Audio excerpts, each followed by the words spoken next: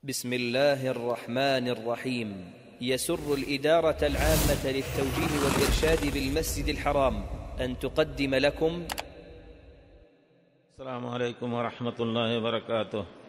إن الحمد لله نحمده ونستعينه ونستغفره ونعوذ بالله من شرور أنفسنا ومن سيئات أعمالنا. من يهده الله فلا مضل له ومن يضلل فلا هادي له. وأشهد أن لا إله إلا الله وحده لا شريك له وأشهد أن محمدا عبده ورسوله. أما بعد فإن خير الحديث كتاب الله وخير الهدي هدي محمد صلى الله عليه وسلم وشر الأمور محدثاتها وكل محدثة بدعة وكل بدعة ضلالة وكل ضلالة في النار. قال الإمام المصنف أبو عيسى الترمذي في جامعه في كتابه الجامع في كتاب الجنائز باب ما جاء في تسوية القبور. قال حدثنا محمد بن بشار وهو بندار الإمام الثقة. قال أنه قال حدثنا عبد الرحمن بن مهدي أنه قال حدثنا سفيان وهو الثوري عن حبيب بن أبي ثابت عن أبي وائل وهو شقيق بن سلمة أبو وائل الأسدي مخضرم ثقة كبير. أن عليا قال لأبي الهياج الأسدي أبعثك على ما بعثني به النبي صلى الله عليه وسلم. وفي بعض الروايات الأخرى ألا أبعثك؟ ألا بصيغة التحضيض. ألا أبعثك على ما بعثني به النبي صلى الله عليه وسلم. ألا تدع قبرا مشرفا أي عاليا إلا سويته ولا تمثالا إلا طمسته أو طمسته. فدل هذا الحديث بوضوح على أنه لا يجوز أن يكون القبر عاليا مشرفا أي عاليا. لكن قوله إلا سويته أو سويت سويته مثل مثل مثل الأرض التي حولها أم ماذا؟ هنا يأتي الكلام ولا تمثالا إلا تمسته لا شك في أي تمثال لا يجوز في في بلد الإسلام والمسلمين. لأن أول ما كان قد انتشر عبادة الأوثان لأجل هذه الصور كما جاء في الروايات. فما سويته إلا أن تجعله مساويا مع بقية الأرض. هذا ظاهره. لكنه يؤخذ بالسنة أن السنة لا شك فيه أنها لا يرفع القبر رفعا عاليا إلا إذا كان على شبر من أين يؤخذ هذا؟ يؤخذ هذا من ما اختار الله لنبيه على أيدي صحابة رسول الله صلى الله عليه وسلم أنهم جعلوا قبر النبي صلى الله عليه وسلم مشرفا شيئا مسنما لا لا أطئة بالأرض ولا عالية ولا مشرفا. هكذا جاء فيه. يعني لم تكن مساوية للأرض إنما كانت عالية شيئا ما وهو ما قدروه على قدر شبر. ولذلك غير واحد من العلماء قالوا أنه يستحب أن يرفع القبر قدر شبر ولا يكون مساويا مع, الأرض التي حول القبر حتى يعرف أن هذا قبر لأن القبر لها أحكام لها احترام لا توتى ولا يجلس عليها جلوسا مطلقا أو لقضاء الحاجة وغيرها فبذلك لا بد أن يعرف أن هذا قبر. كذلك إذا كان مستويا فبعد أيام ربما يغمى ويغم ولا يعرف. فيأتي الإنسان إلى القبر ليصلي ليدعو له أيضا ليدعو لصاحب القبر ويسلم عليه. كل هذا لأجله قالوا أنه يكون مشرفا على شبر في وسط التسنيم إلى آخر أطراف القبر. لا يجوز لا ينبغي أن يكون أطراف القبر آلية إلا شيئا قليلا لكن مصنما.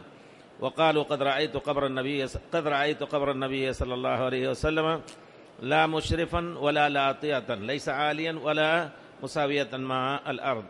كذلك ذكروا الذين ذكروا رأوا بعد دفن عمر رضي الله عنه أيضا قال رأيت القبور كلها غير لا غير مشرفة ولا لاطية ولذلك على كل الآن الشبر من الوسط الظاهر. يكون الوسط يكون إذا كان يعتبر الوسط يكون أعلى. والأطراف هذه لا يكون مثل ال- ال- الوسط.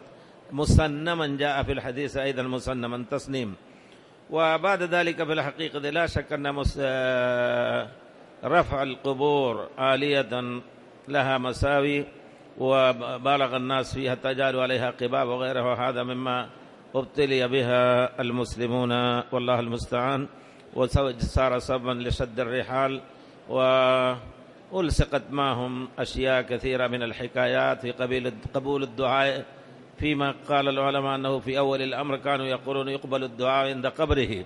ثم بعد ذلك بدأوا يسألون صاحب القبر بنفسه وقد ندد عليه العلماء في كل زمان والله المستعان. نعم.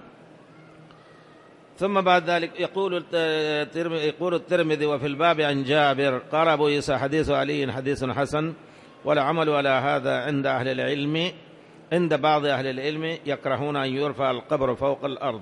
قال الشافعي أكره أن يرفع القبر إلا بقدر ما يعرف أنه قبر. هذا كأنه يعني جعله حد التمييز إلى أي قدر يجوز أن يرفع يعرف أنه قبر. لكي لا يوطى ولا يجلس عليها ولذلك قدره العلماء بأن يكون آه، قبرا لا يكون أعلى من الشبر في الغالب هكذا الذي قدروا به قبر النبي صلى الله عليه وسلم. نعم. ثم بعد ذلك قال باب ما جاء في كراهية المشي على القبور والجلوس عليها والصلاة إليها. قال حدثنا هناده بن السري أنه قال حدثنا عبد الله بن المبارك الإمام أنه أن عبد الرحمن بن يزيد بن جابر. عبد الرحمن بن يزيد بن جابر. هذا ولد في عهد النبي صلى الله عليه وسلم هكذا قالوا. لكنه الذي يظهر أن يعني هذا وهم في ترجمته إنما هو تابعي ثقة معروف. عبد الرحمن ابن يزيد ابن جابر. من التابعين الثقات عن بصر بن عبيد الله أيضا تابعي ثقة عن أبي إدريس الخولاني عن واثلة ابن العسقة السحابي عن أبي مرثد الغنوي رضي الله عنهم. قال قال النبي صلى الله عليه وسلم لا تجلسوا على القبور ولا تصلوا إليها. وفي رواية أخرى لا تجلسوا على القبور لقضاء, لقضاء الحاجة. في بعض الروايات. فإذا كان آه، في الحقيقة القبر غير معروف ربما يكون سببا لجلوسهم لقضاء حاجتهم حينما يخرجون في البراري. فبذلك لا تجلسوا مطلقا الجلوس. لكن جاء في بعض الروايات أن الصحابة كانوا يتكئون على بعض القبور. يعني إذا جلس يتكئ هكذا. فالجلوس شيء آخر والاتكاء قد يكون والله أعلم جائز. جاء عن علي رضي الله عنه أنه اتكى على قبر وهذا إسناد صحيح. فنعم لا تجلسوا الجلوس لا يجوز. كذلك نهى أن تؤطأ تؤطأ القبور يعني وطي القبور ومشي عليها لا يجوز. هذا كله واضح جدا والحديث أخرجه البخاري أيضا. ففيه تحريم الجلوس على القبر وإليه ذهب الأئمة رحمة الله عليهم. قال هنا من وطئ تلك القبور إلى أن يصل إلى قبر قريبه مكروه. هنا في ذكر ابن الهمام في كتاب فتح القدير قال كره الجلوس على القبر ووطئه وحينئذ فما يصنعه الناس ممن دفنت أقارب أقاربه ثم دفنت حواليه خلق من وطأ تلك القبور إلى أو من وطئ تلك القبور أن يصل إلى قبر قريبه مكروه. كان الناس يطؤون القبور حتى يصلوا إلى القريبه الذي دفن. وينبغي أن يكون إذا لم يكن يصل فيأخذ بين القبرين الظاهر. لا يكون بين القبرين يكون فاصل طبعا. فمن الممكن أن يأخذ ويتحرى بهذه الصورة. وإن لم يمكن فمن بعيد يسلم على جميع الموتى وعلى من جملته قريبه أيضا. ولذلك على كل حال وطيه مشيه لأي مس- مصلحة. حتى عند الدفن وغيره للآخرين ينبغي أن يتحروا ولا يطأوا قبور القبور السابقة. وقضاء الحاجة عليه بدرجة أولى يكون مكروها نعم. وفي الباب عن أبي هريرة أخرجه قال وفي الباب عن أبي هريرة وعمر بن حزم وبشير بن الخصاصية قال حدثنا محمد بن بشار أنه قال أخبرنا عبد الرحمن بن مهدي عن عبد الله بن مبارك بهذا الإسناد نحوه تقوية فقط والإسناد صحيح. أيضا من جملة ما جاء في هذا في وطي القبور المسألة التي ربما لا تذكر في كتب الفقه أنه لا تلبس النعال إذا دخل حتى ما بين القبور. لا يلبس النعال. رأى النبي صلى الله عليه وسلم رجلا يمشي في نعلين بين القبور فقال اخلع نعليك يا صاحب السبتيتين أو يا صاحبة السبتيتين ألقهما. فحتى بين القبور أيضا إذا كان يمشي فيجب أن يمشي حافيا غير متناعل لو كان لابسا الجورب أو شيء لا بأس لكن النال لا يلبس. وهذا الحديث صحيح صححه العلماء. يدخل في النهي عن الدخول في بالنعال في ما بين القبور فينبغي الذين يعالجون الدفن أو يعالجون الدعاء أو يقربوا من الميت لا يدخلوا بنعالهم وذكر بعض العلماء أن هذه المسألة لا تجد في كتب المذاهب سبحان الله مع أنه الحديث فيه واضح نعم آه.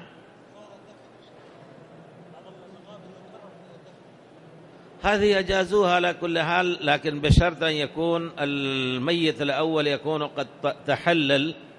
وحتى هنا رأينا أنهم يدخلوا يجعلون في بعض الأحيان الصفوف يكون لها مدة معينة صفوف القبر. هذا دفن في الشهر الفلاني مضى عليه سنة أو زيادة الظاهر فيفتحون القبر فإذا وجدوا لم نشف ولم يتحلل يتركوه هكذا. ومن جملة هذا فيه عبرة يقول أحد الإخوة من زملائنا في الجامعة قال أنا ذهبت يوما ما في يوم في الصباح في الجمعة يوم الجمعة لأزور القبر وما كان هناك الأموات. فيقول رأيت الإخوان الحفارون هؤلاء يحفرون ويقلبون القبر القديم هذا الذي هو مدفون فيه ناس. فأخ ماذا يفعلون؟ هو الذي رأى حكى لنا أنهم يجمعون العظام فينقلون ربما إلى مكان آخر أو يجعلونه في الجنب. لكن أكثر شيء أنهم إذا كان شيء كثير موجود فينقلونه إلى مكان آخر عدة أشخاص في قبر واحد.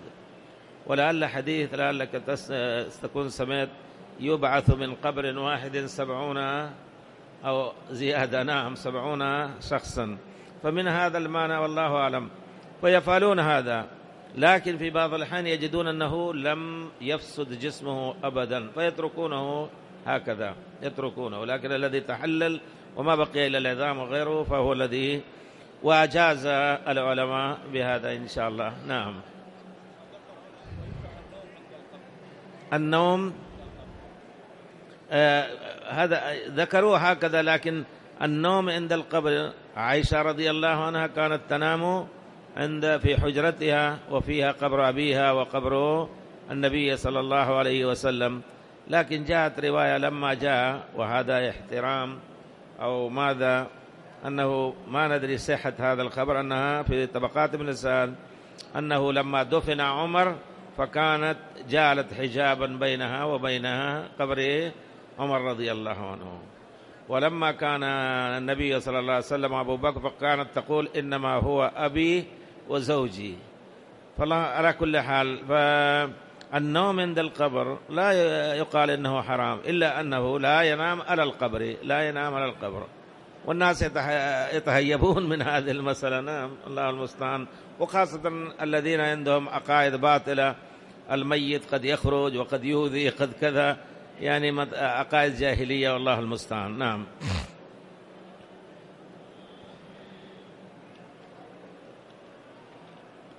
فالجلوس مطلقا على كل حال. قال وفي الباب عن أبي هريرة. أبو هريرة أخرجه الجماعة الا البخاري والترمذي لأن يجلس أحدكم على جمرة فتحرق ثيابه فتخلص إلى جلده. خير له من أن يجلس على قبر.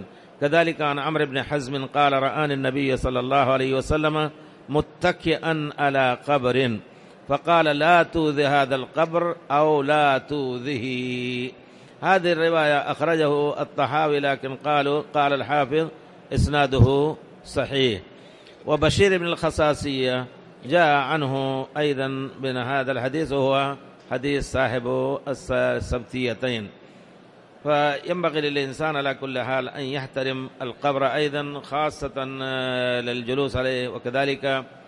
لكن جاءت بعض الروايات قال بعض الصحابة قال كان آه، آه، أطولنا قفزا من يقفز قبر فلان. تذكرون الرواية ولا ما يذكرون كانوا يتسابقون في القفز فكانوا يقفزون.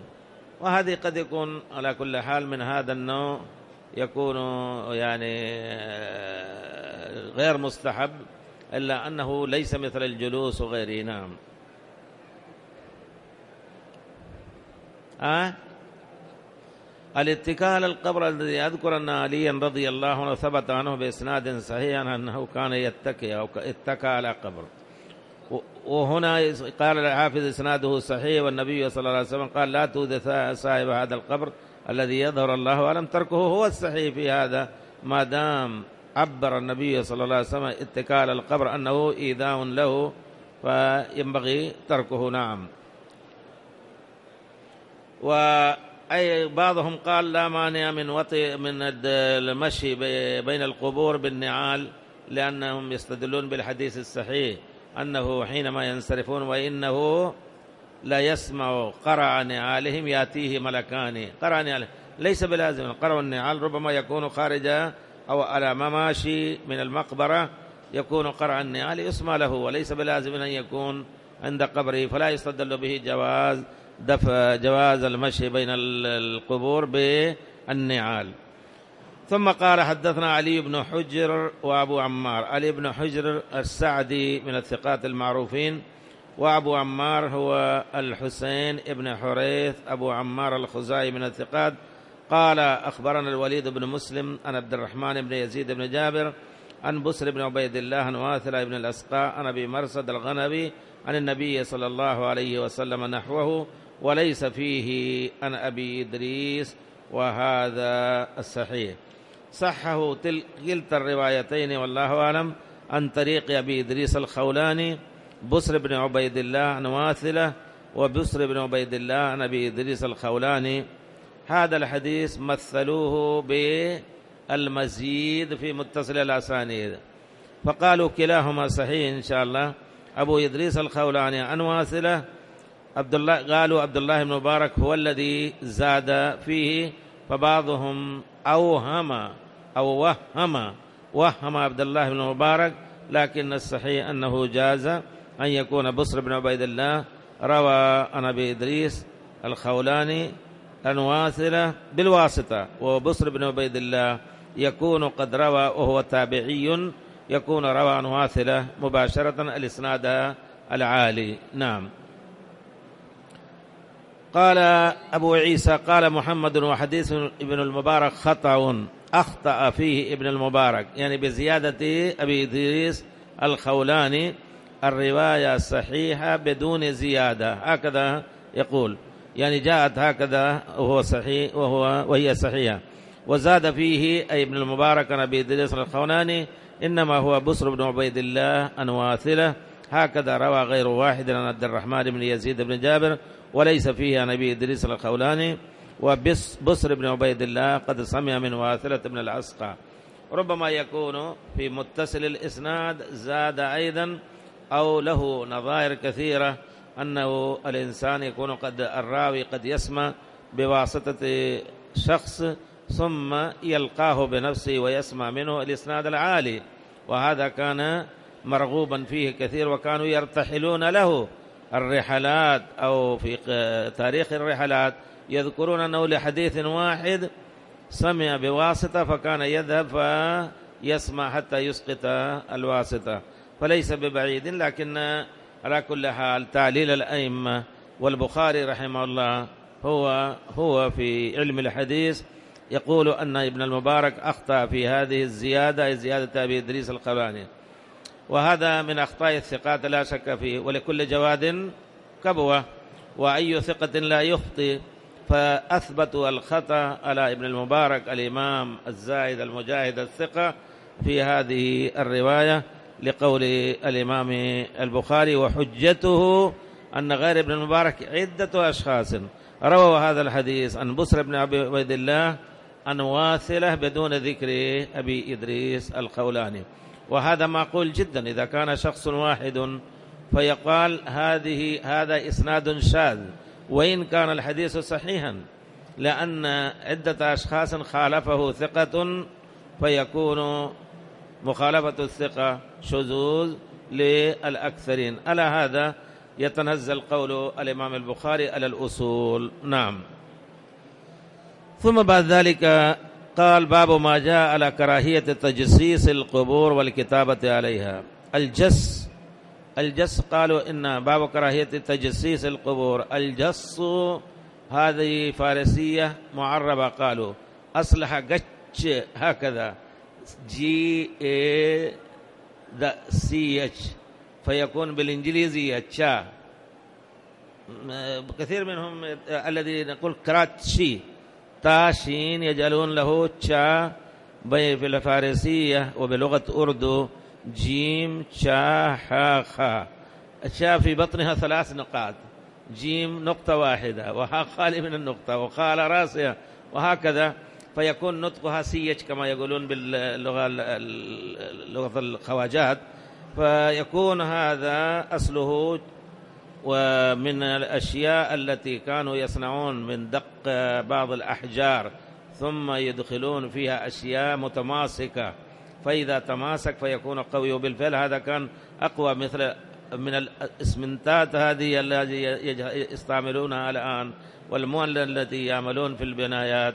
الآن نجد مثل هذه البنايات منذ 400 سنة 500 سنة قائمة هذه البنايات بمثل هذه المؤن. فهو الجس كان معروفا من قديم الزمان جس. وجاء في ذكر بناء الكعبة. لعبد الله بن الزبير أنه استعمل الجس أيضا. الجس استعمل وطلب آه، بعض حاجات الجس وكانوا في اليمن.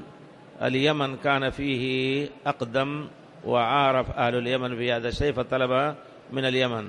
كذلك طلب من اليمن أيضا بعض الأخشاب. وهذا الخش الآن موجود تاريخه يذكرون وهو في متحف الذي هو في أم السلم في مكة آه، عمود وهو يذكر أنه من زمن عبد الله بن الزبير رضي الله عنه. آه، تآكل من أسفل تآكل بالمرة ولذلك أخرجوه في 1417 لما بنوا الكعبة بطريقة جديدة من الداخل وأخرجوا التراب حتى كله لأنها كانت انتشرت في الفطريات فأخرجوا هذه هذا العمود مع العواميد الأخرى وجاءوا ب من بورما كما هو معروف 35 شجر تيك قطعوه وجففوه بطريقة خاصة وأدخلوا فيه. فالحاصل الجس هذا كان معروفا كانوا يجسسون القبر مثل ما يليس أو يلطى الآن بالإسمنت هذا الجس. فقال حدثنا عبد الرحمن والكتابة عليها ما حكمها؟ قال حدثنا عبد الرحمن ابن الأسود. نعم. عبد الرحمن بن الأسود الحاشمي الأحول أبو عمرو البصري ثقة.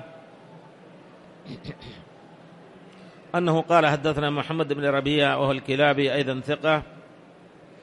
عن ابن جريج عن أبي الزبير رضي الله عنه عن أبي الزبير محمد المسلم التدرس.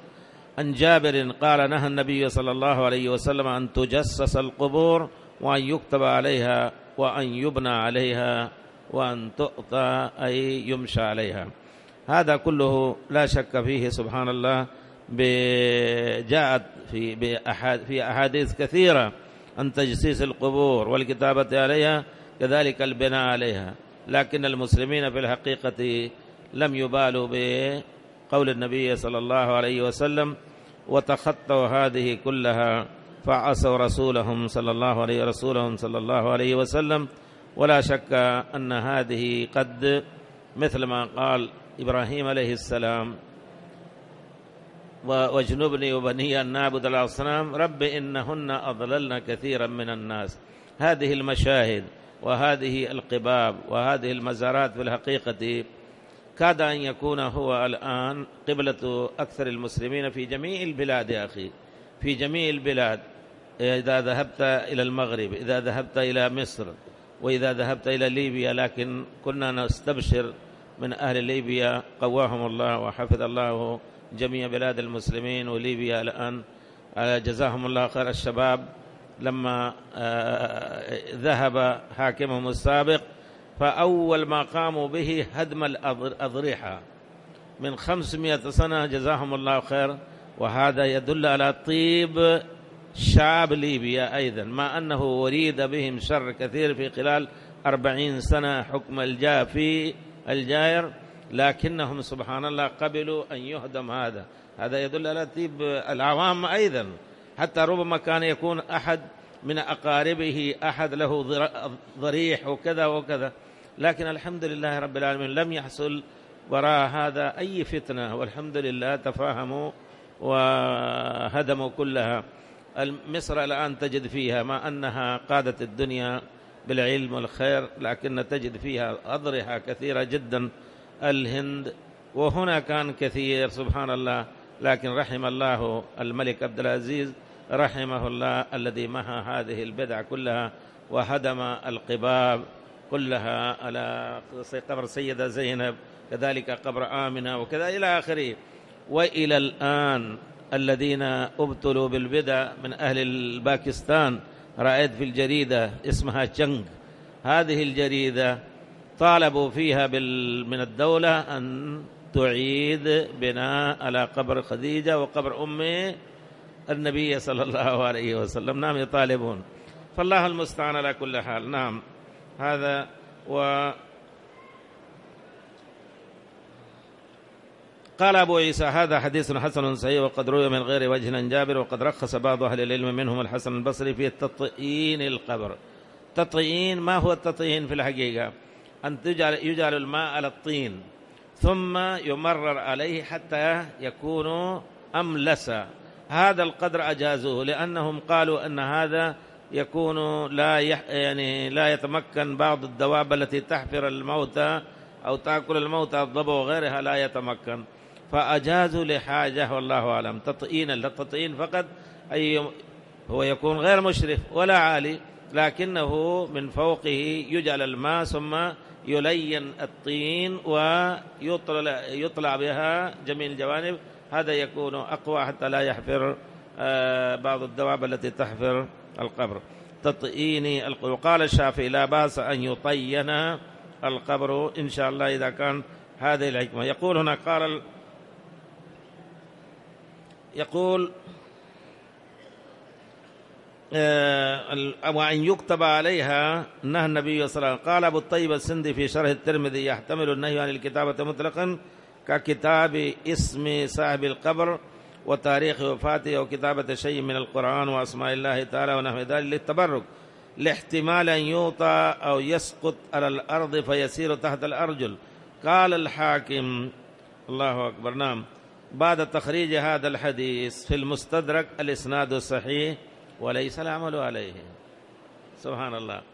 قال وليس العمل عليه فإن أئمة المسلمين من الشرق والغرب يكتبون على قبورهم وهو شيء أخذه الخلف عن السلف وتعقبه الذهبي في مختصره بأنه محدث أو لم يبلغهم النهي. هذا هو الصحيح.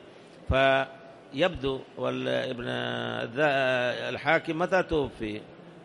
في سنة 400 وكم؟ يعني قريب 415 أو كذا. فيقول فإن الخلف عن السلف أخذوا وكانوا يكتبون عليه. ففعل الناس لا يكون حجة لابد أن نرد الأمر إلى الأمر الأول في عهد النبي صلى الله عليه وسلم. فلما مات ابن النبي صلى الله عليه وسلم هل كتب النبي صلى الله عليه وسلم هل رفع قبره أو قبب أو بنى عليه أو شيء كل هذا؟ فالمسألة واضحة جدا بأن أنه لا يجوز الشيء الذي ليس عليه أمرنا فهو كل أمر ليس عليه أمرنا فهو رد. ولذلك حق للذهب أن يتعقب بأنه محدث أي بدعة إنما فعل من فعل الذي لم يبلغه النهي هكذا يقول. وثم بعد بلوغ النهي أيضا بعض الناس يتمردون على حكم الله حكم رسوله فهؤلاء لا يكونوا حجة. نعم. وقد رخص بعض أهل العلم منهم الحسن البصري في تطعين القبور. جاء في تطعين القبور روايتان الأولى ما روى أبو بكر النجار آه نجاد ولا نجار هذا؟ أبو بكر النجاد ليس نجار. عندكم نجاد؟ أه؟ لا هو الظاهر أبو بكر النجاد. سلمان بن فلان أبو بكر النجاد. من طريق جعفر بن محمد عن أبيه أن النبي صلى الله عليه وسلم رفع قبره من الأرض شبرا وطون بطئين أحمر من العرسة ذكره الحافظ في التلخيص وسكت عنه. والثانية ما ذكره صاحب صاحب مسند الفردوس عن الحاكم أنه روى من طريق ابن مسعود مرفوع لا يزال الميت يسمع الأذان ما لم يطين قبره وهذا حديث باطل. هذا حديث باطل. قال الحافظ في التلخيص آه، صفحة كذا بعد ذكر هذه الرواية إسناده باطل. آه، فالتطعين في الحقيقة لتكون لأجل المصلحة. أما في قبر النبي صلى الله عليه وسلم فالذي يظهر لم يذكره وأوسى من ذكر ما يتعلق بقبر النبي صلى الله عليه وسلم ودفنه وغسله وكفنه ما ذكره السمهودي في كتاب وفاء الوفاء بأخبار دار المصطفى. تنظرون فيها وسورة قبر النبي صلى الله عليه وسلم وأبي بكر وعمر كله ذكر بالتفصيل. لم يذكروا فيه التطئين فلذلك والله أعلم قال الصحيح الذي جاء قال رأيت قبر النبي صلى الله عليه وسلم محسوا بحسوة بحسوة البطن الوادي. يعني كان عليه حصوات فقط لم يكن مطينا بل جالوا عليه حصى أو حصوات نعم. ثم بعد ذلك باب ما يقول الرجل إذا دخل المقابر إذا دخل المقابر أو قبر شخص واحد إذا كان إذا دخل المقابر وربما يكون مدفونا شخص واحد فقط. قال حدثنا أبو كريب محمد بن العلاء وهو ثقة. قال حدثنا محمد بن الصلت وهو محمد بن الصلت بن الحجاج الأسدي الثقة. أنا أبي كدينة وهو أبو كدينة هكذا كاف ودال يحيى بن المحلب البجلي أبو كدينة صدوق. عن قابوس ابن أبي ظبيان. قابوس ابن أبي ظبيان هذا ضعفوه قابوس ضعفوه. أبو ظبيان وهو ثقة حسين بن جندب يروي عن أبيه الضعيف الابن الضعيف يروي عن أبيه وهو ثقة. عن ابن عباس قال مر رسول الله صلى الله عليه وسلم بقبور أهل المدينة أو بقبور المدينة فأقبل عليهم بوجهه فقال السلام عليكم يا أهل القبور يغفر الله لنا ولكم. أنتم سلفنا ونحن بالأثر. هذه الرواية في الحقيقة ضعفه العلماء لكنه جاءت رواية أصح بهذا اللفظ. قال أنا عائشة رضي الله عنها وفي أن بريدة أنه قال النبي صلى الله عليه وسلم بلفظ السلام عليكم أهل الديار من المؤمنين والمسلمين وإنا إن شاء الله بكم للاحقون. نسأل الله لنا ولكم العافية. فهذا الضعيف لكنه معناه قريب ولذلك حسنه غير واحد من العلماء. قالوا حسن إلا أن الصحيح الوارد هو ما جاء عن بريدة وعن عائشة رضي الله عنها بلفظ قولي اللهم قولي قالت يا رسول الله كيف أقول تعني في زيارة القبور؟ سبحان الله. وهذه هنا مسألة أيضا. هل للنساء زيارة القبور؟ قال قولي السلام على أهل الديار من المؤمنين والمسلمين ويرحم الله المستقدمين منا والمستأخرين وإن إن شاء الله بكم لاحقون.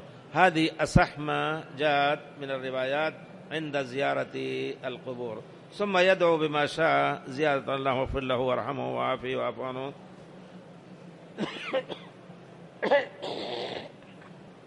وأما بذاك اللفظ فضعفوه لأن مداره على راو اسمه مض... اسمه آه، قابوس إلا أنهم قالوا ما دام دعاء ويجوز للإنسان أن يدعو بما شاء ما لم يكن هجرا من القول فقالوا حتى هذا السلام عليكم يا القبور إنا إن شاء الله بكم لايقون جاز القول به. نعم. باب ما جاء في الرخصة في زيارة القبور. قال حدثنا محمد بن بشار وهو بندار ومحمود بن غيلان والحسن بن علي الخلال ثلاثة شيوخ ثلاثة هؤلاء الثلاثة شيوخ والترمذي قالوا حدثنا أبو عاصم النبيل. أبو عاصم هو الضحاك بن مخلد أبو عاصم النبيل. قال حدثنا سفيان وهو ابن آه، أبو عاصم يروي عن سفيان الثوري. قال هو سفيان بن سعيد بن مسروق الثوري عن علقمة بن مرصد عن سليمان بن بريدة عن أبيه بريدة بن الحصيب الصحابي رضي الله عنه قال قال رسول الله صلى الله عليه وسلم كنت نهيتكم عن زيارة القبور رجالا ونساء بالعموم كنت نهيتكم عن زيارة القبور فقد أذن لمحمد في زيارة قبر أمه فزوروها فإنها تذكر الآخرة. احتفظوا بهذه الكلمة فقد أذن لمحمد في زيارة أبيه.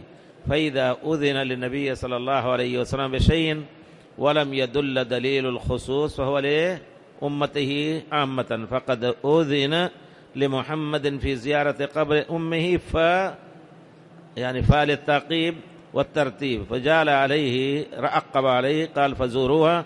معناه كل ما يجوز للنبي صلى الله عليه وسلم يجوز لأمته ما لم يدل دليل الخصوص. فإنها تذكر الآخر لا شك فيه. ودل هذا على أن هذا الحديث يدل على أن المصلحة مقدمة على المفسدة. إذا كان في أمر فيه بعض الخير لكن شره قد يكون أكثر فالمصلحة تفوت المصلحة ولا يرتكب المفسدة. لأن الناس في الجاهلية كانوا إذا زاروا القبور فكانوا يتفاخرون حتى عند القبور وينادون المقبور بأوصاف كأنه كان هو جبل الجود وجبل السخاء والسجاع وكذا إلى آخره أو كانوا يبكون إن هد جبلنا. فالنبي صلى الله عليه وسلم نهى الكل عن زيارة القبور رجالا ونساء. فقد أذن لمحمد هنا هذا الإذن إذا جاء للرجال فالذي يظهر أنه جاء للنساء أيضا جاء للنساء أيضا فجاز للنساء أن يزرن. لكن هناك روايات قد استدل العلماء بها مطلقا منع الزيارة. رواية لعن الله زوار زائرات القبور. وهذه الرواية لعن الله زائرات القبور. هذه الرواية عن طريق أبي صالح باذام مولى أم هاني. عن ابن عباس رضي الله عنه وهذه الرواية ضعيفة. لكن جاءت رواية الصحيحة بلفظ لعن النبي لعن النبي صلى الله عليه وسلم زوا زورات القبور. فزورات صيغة مبالغة. فهنا قال العلماء أن هذا الحديث الذي فيه فزوروها فإنها تذكر الآخرة. فكما أن الرجل يحتاج أن يذكر للآخرة أو بالآخرة كذلك المرأة بدرجة أولى. صاحبة نصف دين ونصف عقل فجاز لها أن تزور. وجاء في الروايات أيضا تأكيد. في رواية أخرى فزوروا القبور ولا تقولوا ولا تقولوا هجرا ولا تقولوا هجرا أي كلام اللغو الذي ليس في دين الله تعالى. فالرجال والنساء كلهم مخاطبون بهذا ولذلك قالوا يشمل حكم الإذن بالزيارة الرجال والنساء. لكن الحديث الثاني كأنه يوقت لهن توقيت. الرجال ليس لهم صباح مساء إذا ذهب لكن النساء زيارة القبور آه، كثرة زيارة القبور هو الذي حرم عليها. وما مقدار الكثرة؟ قالوا الذي في العرف يعرف أنها تكثر أو كثيرة الزيارة فيمنع منها وإذا, وإذا ذهبت بعد ستة أشهر سنة أو كذا فلا تكون زائرة. لكن إذا ذهبت كل أسبوع كل شهر ربما تكون. وفوق هذا أيضا إذا رأى ولي أمر المسلمين أن في زيارة النساء للقبور يحدثن هناك فسادا فيجوز له أن يمنعهن من هذا المباح. جاز لهن يدعون من بعيد ولا يزرن ولا يقربن القبر. جاز لولي الأمر أن ينهى لأجل منع الفساد. نعم. نعم زيارة قبر أمه. بس مشكلة لا يسمعك الناس يعني لأنهم قالوا كيف تقول لأم محمد صلى الله عليه وسلم أنها كافرة. هو جاء في الحديث قال النبي صلى الله عليه وسلم ولا شك أن الموت فيه فزع وزيارة القبر لكن يبدو والله أعلم أنه ماذا أقول؟ عائشة قالت ماذا أقول إذا زرت القبور؟ فهل تقول للكافر السلام عليكم؟ لا. فالمقصود الظاهر زيارة قبر المسلمين. لكن الحديث الذي جاء فيه إذا مررتم بقبر الكافر فبشروه بالنار. إذا مررتم معناه وأنت مارر ووجدت كافرا أبشر بالنار. لكن سؤال عائشة ماذا أقول وكيف أقول إذا زرت القبور؟ فدل على وقال قال السلام قولي السلام عليكم والسلام عليكم على القبور. لا يقال إلا للمسلمين. فدل على أن زيارة القبور المشروعة المحثوث فيها هي زيارة هي قبور المسلمين والله أعلم.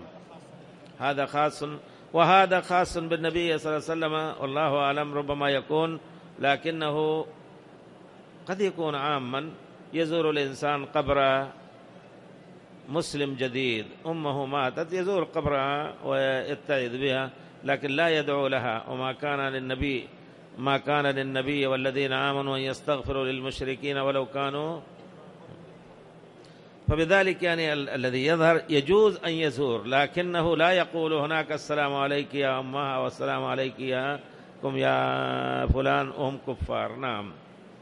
إذا مررتم نعم قد تمروا بجانب المقبرة فهناك بشره بالنار.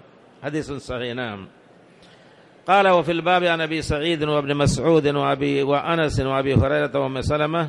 قال أبو عيسى حديث بريدة حديث حسن صحيح والعمل على هذا عند أهل العلم لا يرون بزيارة القبور باسا وهو قول ابن المبارك والشافعي وأحمد وإسحاق. نعم.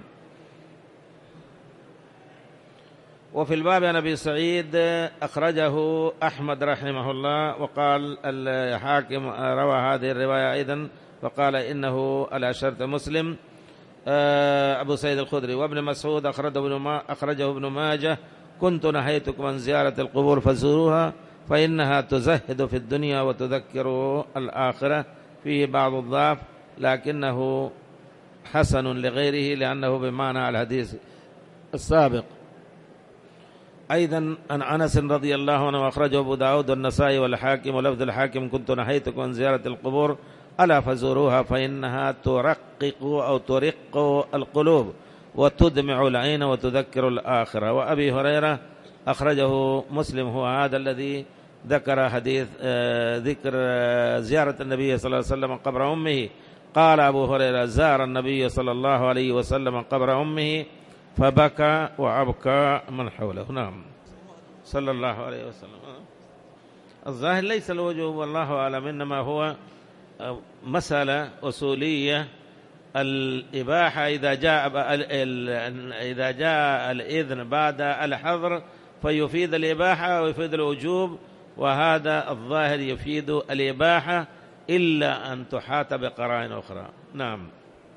فزار قبر أمه فبكى وأبكى من حوله فقال استأذنت ربي في أن أستغفر لها فلم يأذن لي. نعم. واستأذنته في أن أزور قبرها فأذن لي فزور القبور فإنها تذكر الموت. الظاهر بهذا الحديث يعني كأنه يستدل والله أعلم على أنه حتى لو زار قبر الكافر لتذكر الموت فيكون له.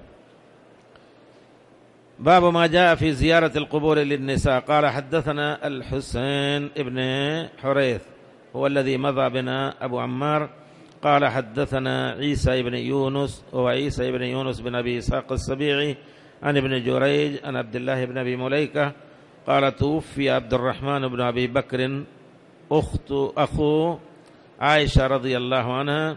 توفي عبد الرحمن بن أبي بكر بالحبشي.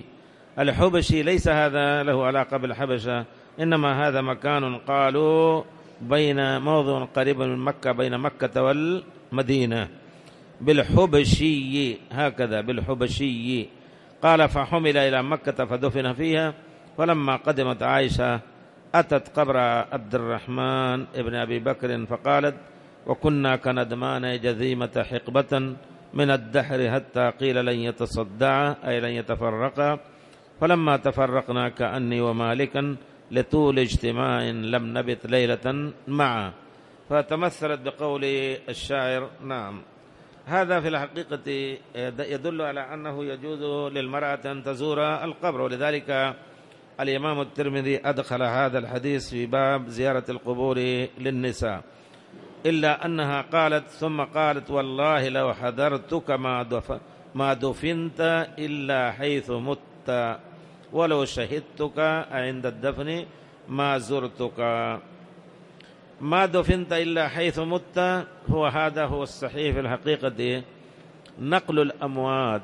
هذه مسألة في الحقيقة من مكان موتهم إلى غير آه، حتى يدفنوا في مكان غير مكان موته.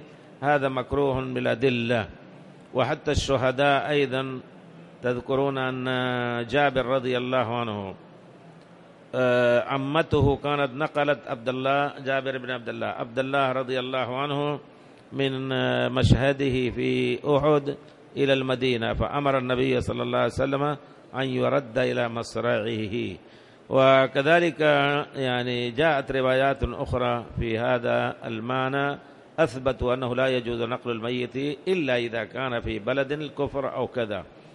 ومن هنا نجد في الحقيقة هذا حديث عام لكن وجدنا من قديم الزمان الأئمة أوصوا أن يدفنوا في مكة في المدينة مثلا. حتى إنه قريبا كان شيخنا هذا عبد الحق الحاشمي رحمه الله لما مات أوصى أن يدفن في المدينة. وهو عاش في مكة وكان عنده درس دائما كنا نجلس جزاه الله خيرا لما ناتي من مكة. وبعد ذلك لما من المدينة ونحن ندرس وكان يأخذنا إلى بيته كان يدرس رحمه الله. لكنه عند موته وصى فصلوا عليه هنا ودفنوا هناك. كذلك لا استدلوا بقول النبي صلى الله عليه وسلم أنه من من استطاع أن يموت بالمدينة. حديث صحيح. من استطاع الموت ليس في استطاعة الإنسان لكنه يحاول بحيث يجاور قبل موته بشيء هناك. من استطاع أن يموت بالمدينة فليمت. فإني أكون شافع له شفيعا يوم القيامة. فمن هذا المعنى أجازوا نقل جثثهم أو نقل جنازتهم إلا أن الأصل فيه أنه لا ينقل إلا حيث مات الإنسان ويدفن.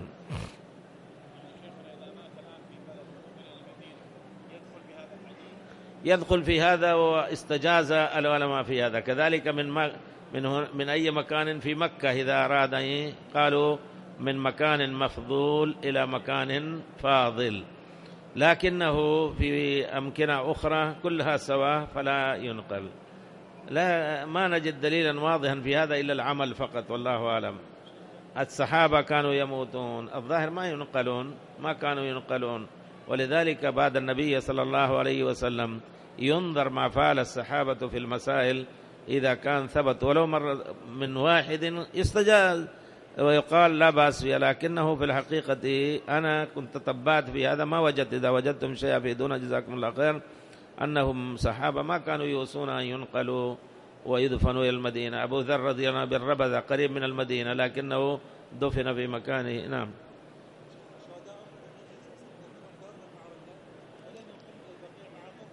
أي نعم.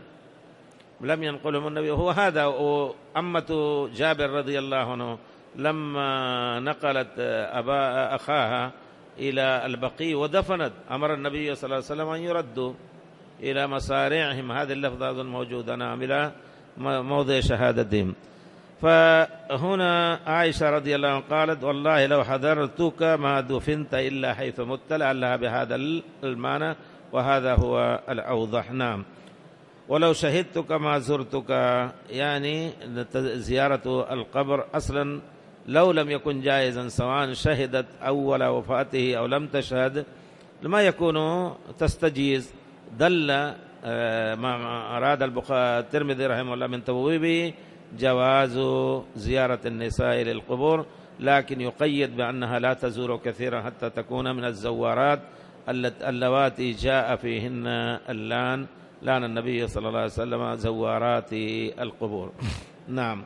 وأما شيرها كنا هذا شير لمتمم ابن نويرة. مات أخوه مالك بن نويرة فرثى له. رثى. وعائشة رضي الله عنها كان لها ذوق آه، الشعر والعربية قوية جدا. نعم. في مثل هذا سبحان الله تتمثل. وكنا كندمان جذيمة حقبة يعني أنا وأخي عبد الرحمن مثل ندمان جزيمة. طويل مدة طويلة من الدهر حتى قيل لن يتصدى لن يتفرقا. فلما تفرقنا كأني ومالكا مالك بن نويرة أخو متمم لطول اجتماع لم نبت ليلة معه. كذلك لما سمعت آه، موت علي رضي الله عنه استشهاد علي رضي الله عنه فتمثلت بقول الشاعر فألقت عصاها واستقر بها النوى. شوفوا كيف تصوير كامل سبحان الله. فألقت عصاها واستقر بها النوى كما قر عينا بالإيابل بكت عائشة رضي الله عنها لما استشهد علي رضي الله عنه فتمثلت بإسناد صحيح عند ابن سعد وغيره. آه نعم. فألقت عصاها واستقر بها النوى كما قر عينا بالإياب المسافر. كأنها تقول الإنسان المسافر الإنسان. والقافلة مسافرة تلقي عصاها ألقى عصا الترحال معناه قد وصل إلى إلى منزله الذي يكون فيه وليس قطع سفره. فعائشة رضي الله عنها تمثل ما حدث لعلي رضي الله عنه من الخلاف فيما بين الصحابة. رفع السيف عليه من لا ينكره هو فضلهم. صحابة آخرون سبحان الله. واستقر بأن كما قر عينا بالإياب المسافر كان طول حياته مع النبي صلى الله عليه وسلم في الجهاد مع الكفار وغيره. ثم كان ما حصل له في آخر حياته من الخلاف وكان تجري حياته في هذه المشاكل حتى استقر وارتاح. فالمسلم مستريح أو مستراح منه. كانها تصور هذا المعنى. فألقت أساها واستقر بها النوى كما قر عينا بالإياب المسافر. باب ما جاء في كراهية زيارة القبور للنساء. قال حدثنا قتيبة وابن سعيد. قال حدثنا أبو عوانة وهو وضاح بن عبد الله اليشكري ثقة. عن عمر بن أبي سلمة وهو عمر بن أبي سلمة ابن عبد الرحمن. في هذه الطبقة عمران عمر بن أبي سلمة أظن هو أقدم أقدم من هذا هو ربيب النبي صلى الله عليه وسلم. وعمر بن أبي سلمة هو أبو سلمة ابن عبد الرحمن بن عوف تابعي وعمر تابع التابعي عمر بن أبي سلمة ابن عبد الرحمن بن عوف. أنا أبيه أبي سلمة أنا أبي هريرة رضي الله عنه أن رسول الله صلى الله عليه وسلم لعن زوارات القبور. قال في الباب زوارات بلفظ زوارات. فبعض بعضهم جعل بمعنى الزيارة مطلقا وبعضهم جعل بمعنى المبالغة لأن صيغة المبالغة فعال زوار. أه؟ لا لا لا. عمر بن أبي سلمة ابن لا عمر بن أبي سلمة ليس ربيب النبي صلى الله عليه وسلم. عمر بن من ابن من ابن أم سلمة زوج النبي صلى الله عليه وسلم. نعم. وهذه لا لا هذا عمر تابع التابعي. أبو سلمة ابن عبد الرحمن من طبقة لا عمر بن أبي سلمة صحابي صغير. صغير. هذا تابعي تابع التابعي. وأبو سلمة بن عبد الرحمن تابعي. أبو سلمة بن عبد الرحمن بن عوف. نعم. وإن كان اشتراك في الاسم لكن الطبقة تختلف.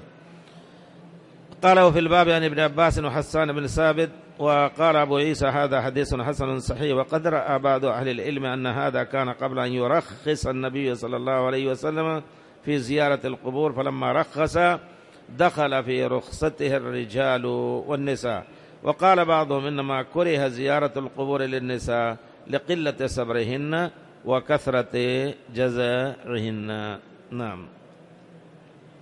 والله أعلم يعني هناك الشوكاني وغيرهم رووا أو رأوا أنها هي داخلة في الإذن إلا أن على ما تعارفوا في العرف أن هذه الزيارة كثيرة فلا تكثر الزيارة لكنه جاز لها أن تزور. هكذا آه، خلص غير واحد من العلماء وبعضهم جعل مطلق الزيارة حرام عليها. وقلنا أنه إذا كان رؤي منهن عدم الصبر وغيره فحق لولي الأمر أن يمنع مطلقا زيارتهن. باب ما جاء في الدفن بالليل. قال حدثنا أبو كريب وهو محمد بن العلاء مضى بنا ومحمد بن عمرو السواق السواق البلخي صدوق. قال حدثنا يحيى ابن اليمان. يحيى ابن اليمان هذا البجلي الكوفي صدوق يخطي كثيرا.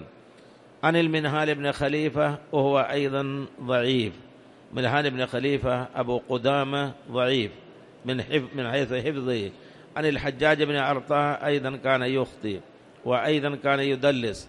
عن عطاء وهو ابن أبي رباح عن ابن عباس أن النبي صلى الله عليه وسلم دخل قبرا ليلا. فأسرج له سراج فأخذه أي أخذ الميت من قبل القبلة. كيف يدخل الميت؟ من قبل الرجل كما جاء في الروايات. وبعضهم قالوا واستحب أن يكون من جنب القبر. هكذا. القبر هنا فهكذا. والأصل الروايات الصحيحة جاء أنه يدخل من قبل الرجل. أولا ينزل رأسه ثم يوصل إلى آخره وبعضهم قال أنه من قبل الجنب القبر إما يمينا وإما شمالا. فهنا انظروا فأخذه من جهة القبلة. كأن القبر ها هنا والقبلة ها هنا فوضع مقابل القبر هكذا فأخذ ونزل هكذا بدون ما يعني من أن يجعلوا في مؤخرته القبر. فأخذ أخذه من قبل القبلة وقال رحمك الله إن كنت لأواها تلاء للقرآن وكبر عليه أربعا. هذا الحديث ضعيف ولذلك الأصل الصحيح في هذا أنه يدخل من قبل الرجل هذا أصح ما جاء فيه. وإلا حيث تيسر وإلا متى ما تيسر من أي جهة يدخلون إن شاء الله. لكن هذا الحديث ضعيف ولو كان هذا لكأنه يريد أن يثبت بهذا أنه يجوز أن يدفن في الليل أيضا. الأصل هو الجواز سواء جاءت هذه الرواية ولم تأتي وهذه الرواية ضعيفة فالأصل فيها إن شاء الله جواز وإنما يكون النهي في أوقات مخصوصة مثل ما جاء نهى النبي صلى الله عليه وسلم ثلاث ساعات كان ينهانا النبي صلى الله عليه وسلم أن نصلي فيهن. أو أن نقبر فيهن موتانا نقبر فيهن موتانا. عند انتصاف النهار وعندما تتضيف الشمس للغروب أو للطلوع. في هذه الحالة خاصة. فيكون هذه الأشياء أو هذه الأوقات هي المخصوصة من نهي عن الدفن. أما غير هذا سواء كان ليلا ونهارا جميع الأوقات البراءة الأصلية. نعم. يقول وفي الباب عن جابر ويزيد بن ثابت وهو أخو زيد بن ثابت أكبر منه. قال أبو عيسى حديث ابن عباس حديث حسن وقد ذهب بعض أهل العلم إلى هذا وقال يدخل الميت القبر من قبل القبلة. وقال بعضهم يصل سلا ورخص أهل العلم في الدفن بالليل. وقد مدت رواية أنه الرواية التي جاءت أن النبي صلى الله عليه وسلم أدخل من قبل قبل قبل من قبل رجليه. نعم رجلي القبر. آه يقول ورخص أهل الأكثر أهل العلم آه في الدفن في الليل. لكن الذين لم يرخصوا ما دليلهم؟ ليس يوجد دليل واضح والله أعلم في النهي عن الدفن في الليل. يبقى على البراءة الأصلية. نعم. يقول رخص أهل أكثر أهل العلم في الدفن بالليل لأحاديث الباب وكرهه الحسن لكن الأحاديث هذه هذا الحديث نفسه ضعيف في الحقيقة ولذلك آه، ما جاء عن جابر وزيد بن ثابت انظروا حديث جابر قال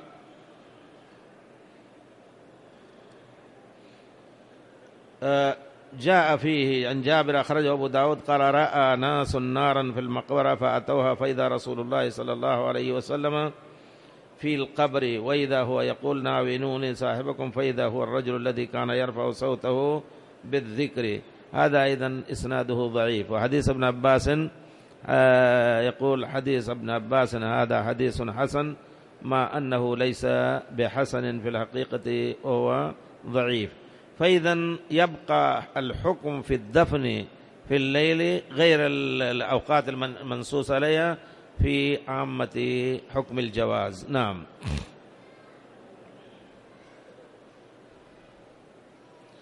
آه، أيضا جاء فيه قال وفي حديث جابر أن النبي صلى الله عليه وسلم زجر أن يقبر الرجل ليلا حتى يصلى عليه. هذا حديث صحيح. هذا حديث أخرجه مسلم. زجر أن يصلى أن يقبر في الليل أو يدفن في الليل حتى يصلى عليه. وهذا واضح بأنه لا منع في الدفن في الليل. نعم. وكذلك حتى عثمان رضي الله عنه دفنوه في الليل لكنهم كانوا في خوف وفي خفية في الحقيقة. أخذوه كما جاء في الروايات أن الغوغائيين لما دخلوا واستشهد رضي الله عنه فدخلوا في الليل وأخرجوه من وراء الباب الأصل ومن وراء مسجد النبي صلى الله عليه وسلم حتى وصلوا إلى حش كوكبان هكذا. وهو خارج من من البقيع. ولذلك الآن تجد إلى وقت قريب البقيع كان آخر جدار البقيع وهنا قبر عثمان رضي الله عنه. الآن أظن وسعوا مو كذا؟ لكن كان آخر شيء البقيع. وقبر عثمان رضي الله عنه في آخر حافة كان هنا وهذا لم يكن داخلا في البقيع في الأول ثم أدخل لما دفن عثمان رضي الله عنه وكانوا يسمونه حش كوكبان هكذا. ففي الليل دفنوا على خوف وعلى خطأ يعني خفية حتى لا يعرفوا المفسدون هؤلاء الذين أحاطوا بالمدينة. نعم. وكذلك دفن عمر رضي الله ليلا وعلي رضي الله عنه دفن فاطمة رضي الله عنها ليلا. كل هذا صحيح ثابت فيتلخص أنه لا يكون النهي في الدفن في الليل إلا إذا كان آه، ينقص آه، في الليل حق الميت في الغسل والكفن أو كذا. إذا غسل وكفن شرعا أو على طريقة الشرع ثم صلي عليه فلا مانع. باب ما جاء في الثناء الحسن على الميت. قال حدثنا أحمد بن منيع وهو البغوي. قال حدثنا يزيد بن هارون الرازي. قال حدثنا أخبرنا حميد وهو الطويل حميد بن أبي حميد الطويل أنا أنس بن مالك خادم النبي صلى الله عليه وسلم.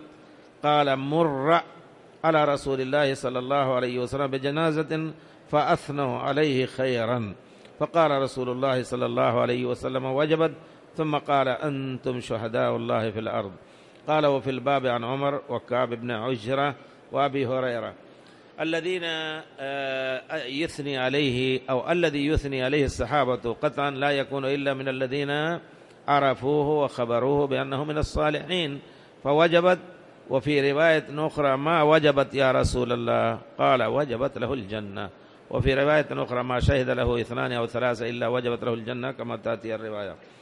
قال أبو عيسى حديث أنس حديث حسن صحيح. نعم فينبغي للإنسان أن يعيش مع الناس حتى إذا مات فيبكون وراءه ويثنون عليه خيرا وهو الناس شهداء الله. أما إذا كان الإنسان كما قال النبي صلى الله عليه وسلم مستريح أو مستراح منه إذا كان مفسدا في الأرض مؤذيا للناس فإذا مات قالوا إلى جهنم وبئس المصير. ما هو كذا؟ فرحوا. لكن الصالح الرجل الصالح يثنى عليه خير إن شاء الله. فينبغي للإنسان أن يستعد لذاك لتلك اللحظة أيضا بحيث يكون مع الناس بخير وعلى خير دائما. مر على رسول الله يعني مروا على جنازة. مروا بجنازته. وفي الباب عن عمر وكعب بن عجرة وأبي هريرة. آه حديث البخاري أيضا آه عن عمر رضي الله عنه أخرجه البخاري والترمذي. وحديث أبي هريرة أخرجه أحمد بهذا المعنى. ثم قال الترمذي رحمه الله حدثنا يحيى بن موسى. إيه ابن موسى الرازي لقبه خط وهو ثقة. وهارون بن عبد الله البزار أيضا ثقة. قال هارون بن عبد الله صدوق. آه، قال يخطي في بعض الأحيان. قال حدثنا أبو داود الطيالسي. قال حدثنا داود بن أبي الفرات.